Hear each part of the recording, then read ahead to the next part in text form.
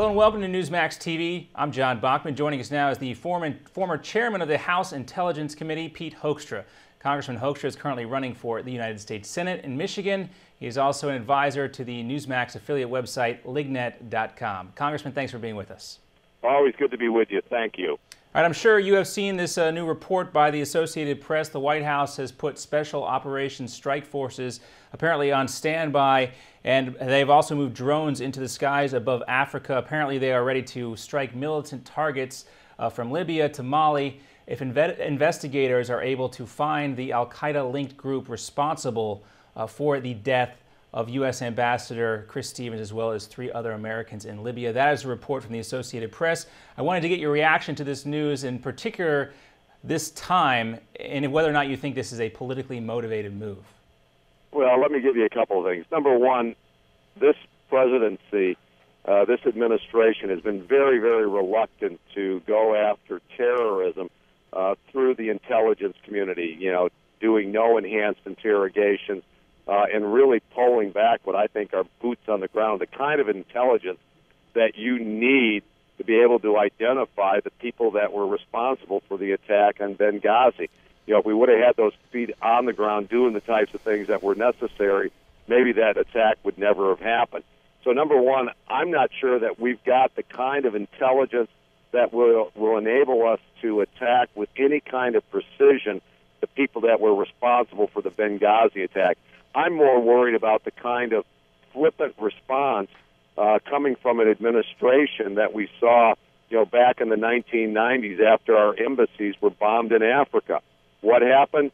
You know, President Clinton at that time sent 60, I think, cruise missiles to Tarnak Farms in Afghanistan, believing that Bin Laden might be there. Bin Laden had been long gone, uh, and all we did was kill a bunch of sheep after we spent $60 million.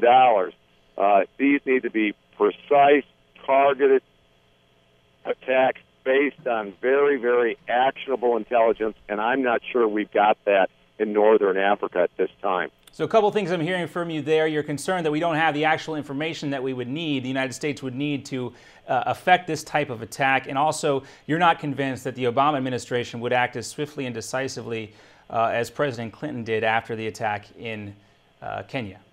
Well, remember, Clinton acted. Uh, he acted quickly, but not very decisively, because you know he hit he hit a target that nobody was there anymore, um, and so you know you're only acting decisively if you have the clearly identified target and you take the target out. I'm concerned that what we may see with this administration is they may use uh, they may fire a few missiles from some drones at some suspected targets and we'll either kill the wrong people or we won't kill anybody at all.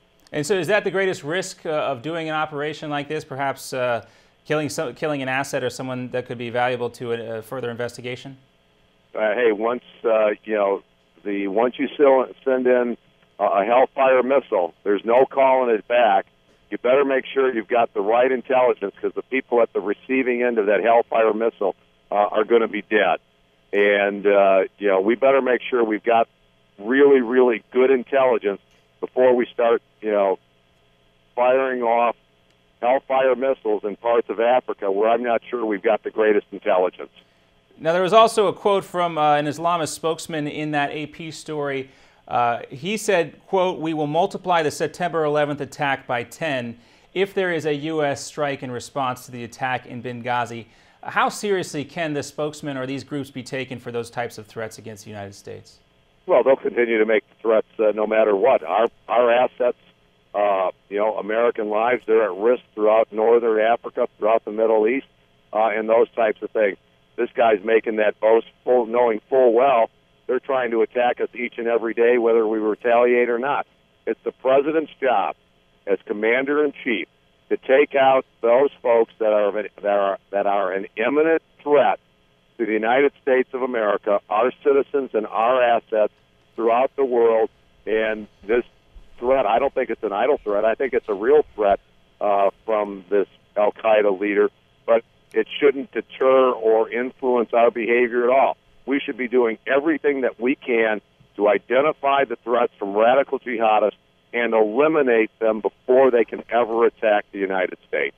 And, one last question for you before you go. We've, we've heard about other leaks uh, from the Obama administration in terms of intelligence and military uh, situations before. Are you at all skeptical of this leak and again of the, the, timing of this leak coming out now, this information, because it appears like it could possibly jeopardize the operation if there, if there was one?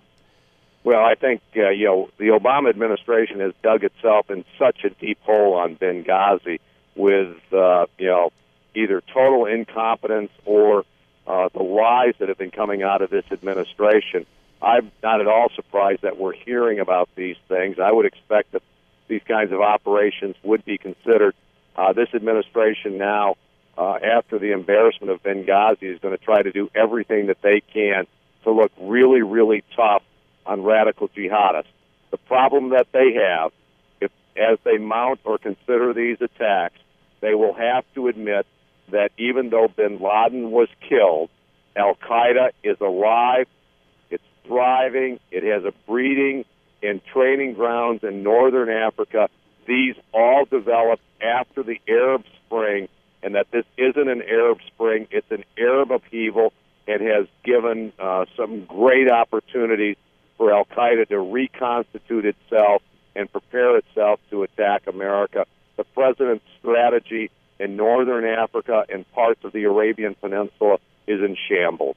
Well, first it was Yemen, now Libya, of course, other places as well. Great deal of concern in North Africa in terms of the uh, growing Al Qaeda presence there. We do want to thank you, former chairman of the House Intelligence Committee, Pete Hoekstra. Thanks for being with us. Hey, good to be with you. Thank you.